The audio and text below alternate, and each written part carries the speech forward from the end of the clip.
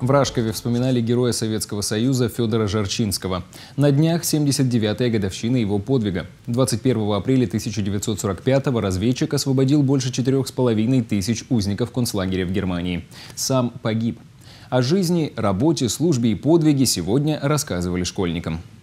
Рашков – музей героя Советского Союза Федора Жарчинского. Для школьников – экскурсия. В залах музея – диплом пединститута, фотография пионеров, старинный патефон. Все напоминает о герое. Семья, в которой он родился, была большая. Она состояла из девяти человек. Родители, Иван Максимович, его основное занятие было рыболовство. И также он играл в сельском духовом оркестре на инструменте скрипка.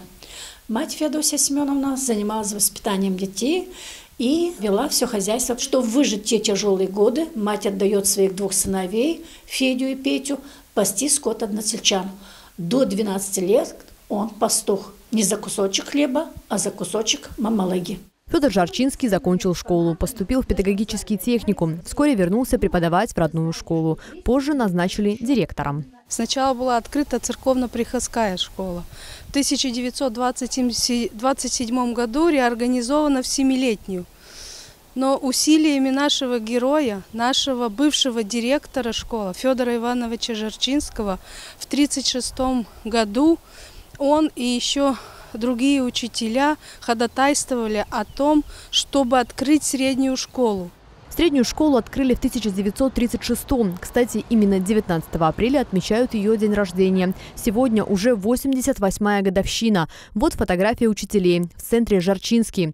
В 1941-м Федор Жарчинский ушел добровольцем на фронт. Воевал под Кировоградом, Житомиром, Киевом. Потом окончил танковое училище. Был командиром Т-34. Участвовал в Кировоградской, Корсунь-Шевченковской и Уманско-Баташанской операциях. Весной 45-го – Берлинская наступательная. 21 апреля разведчики возвращались с задания под Трейнбриценом. Нашли концлагерь. В ходе решительных боевых действий было освобождено 4,5 тысяч людей разных национальностей. Это были французы, поляки, датчане, норвежцы. Федор Жарчинский уничтожил несколько надзирателей в лагере. Его ранили. Погиб. Посмертно ему присвоили звание Героя Советского Союза. С тех пор 21 апреля – День памяти героя Жарчинского. В Рашкове в канун годовщины подвига в музее всегда много школьников. Мы приходим сюда каждый год с учителем и с классом. Мне было очень интересно узнать, кто был первым директором Рашковской средней школы. В канун Дня памяти Федора Жарчинского в Рашкове был концерт. Вспоминали героя и у старой школы. Рядом Жарчинский. Бюст в бронзе.